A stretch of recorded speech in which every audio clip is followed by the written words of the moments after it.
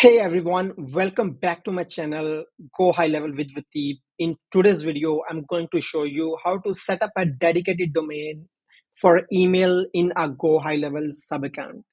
This is an important step to ensure your emails are sent from a domain that represents your brand and increase your email deliverability. So let's get started.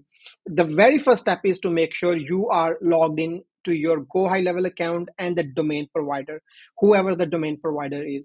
It could be GoDaddy or Namecheap. In my case, I'm using Namecheap. And the second step is once you are logged into your Go High Level account, go to settings and domains. So make sure you have already connected your domain. If you have not, make sure to watch my first video where I have already showed you how you can connect your domain. And the second step is to you need to come here to email services. In email services, you need to set up a dedicated domain. So what you can do here is at the domain, let's say I'm going to set up a mail dot. In my case, the email I want to set up a dedicated domain for is topnotchsolutions.com. So come back here.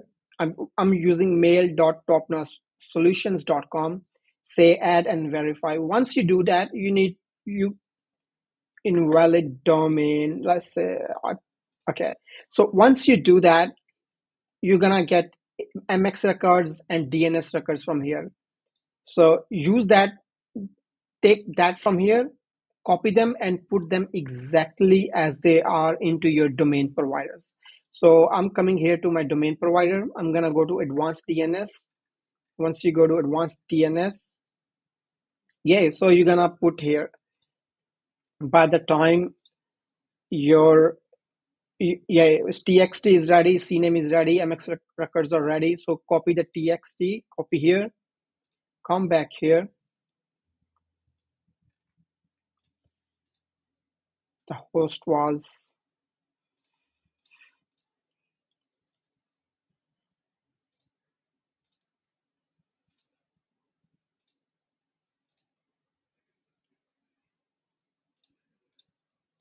You can also skip this part if you want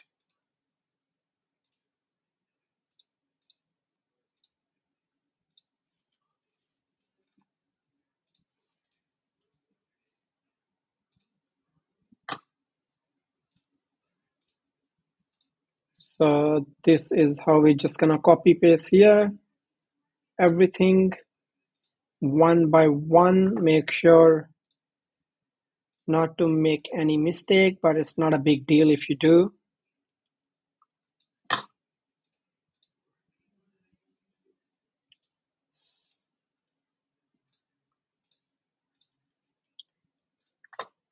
CNAME is ready, then MX records. This is the part uh, where many people say they cannot find MX. So what you need to do is that come here, say custom MX. Once you do that, you can find it here. Host is mail. And then this is the mail server. Priority, I'm doing 10. Why? Because I've been doing for so many times. So this is what I choose save, come back here, it's mail,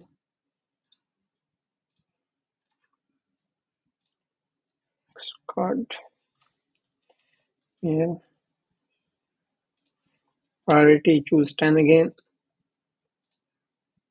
come back here. Since we have added everything, now you can hit verify records. Once you do that, it's gonna verify. It's gonna take few seconds to a minute.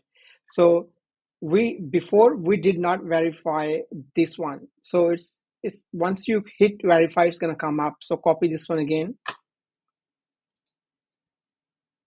It was a txt.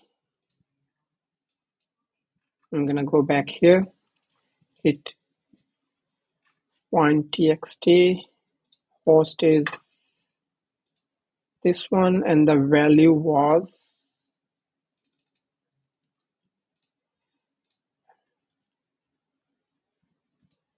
Here it is. come back here. Hit verify again.